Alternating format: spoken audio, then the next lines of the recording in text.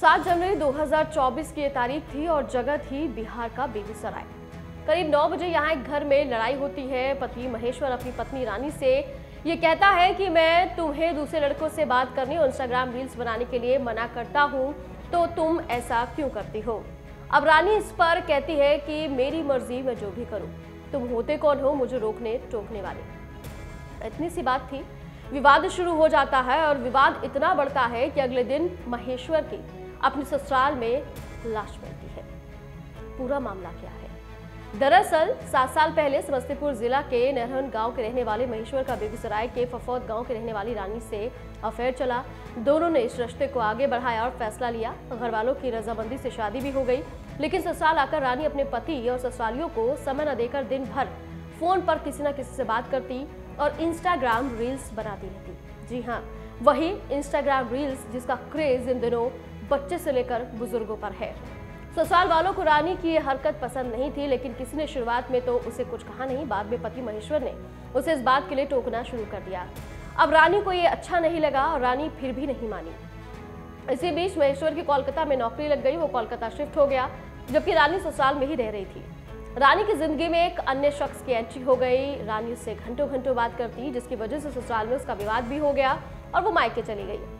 मायके में रहते हुए रील्स का चस्का ऐसा चढ़ा कि ये चस्का छूटे नहीं छूटा उसकी दोस्ती और भी लड़कों से हो गई। वो सभी से फ़ोन पर बात किया करती थी।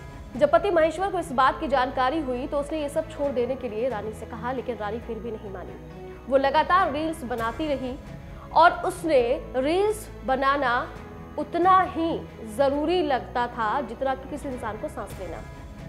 ये सिलसिला चलता रहा साल बीतते गए, फिर एक दिन रानी ने महेश्वर को कहा कि वो उसके मायके आए। महेश्वर कोलकाता से सीधे बेगूसराय के फफोद गाँव पहुँचे रविवार की रात को दोनों के बीच किसी बात को लेकर विवाद हो गया। तभी उसने देखा कि मायके में उसकी बीवी का प्रेमी भी आया हुआ है। अब तीनों के बीच लड़ाई हो गई। इसमें रानी ने दो बहनों और अपने प्रेमी संग मिलकर महेश्वर को मार डाला। इससे पहले कि वो लोग महेश्वर की लाश को ठिकाने लगाते, महेश्वर के फ़ोन पर उसके भाई रुदल का फ़ोन आया। फ़ोन किसी और ने नहीं, बल्कि रानी के प्रेमी ने उठाया और कोई बहाना बनाकर फ़ोन काट दिया। अब उसे शक होता है तो उसने पिता को समस्तीपुर में जानकारी दी। रुदल कोलकाता में ही रहता था, इसलिए उसने पिता से कहा कि वे बेगूसराय जाकर देखे कि भाई को कुछ हुआ तो नहीं है। महेश्वर के पिता फफौद गाँव पहुँचे तो उन्हें उनके ससुराल में उसकी लाश फंदे पर लटकी मिली इसकी जानकारी तुरंत पुलिस को दी गई। मामला दर्ज करके पुलिस ने चारों आरोपियों को गिरफ़्तार कर लिया। आरोपियों में रानी रानी का प्रेमी रानी की बहनें रोजी और सुनीता शामिल है। पूछताछ की जा रही है। आगे की बात कार्रवाई के लिए कही जा रही है। दरअसल अगर मैं बात करूँ रानी की तो इंस्टाग्राम पर रानी के 9,500 से ज़्यादा फॉलोअर्स हैं और उसके अकाउंट में 655 रील्स हैं। क्या ये हो सकता है कि रील्स बनाने से रोकना भी मौत की वजह हो सकती है।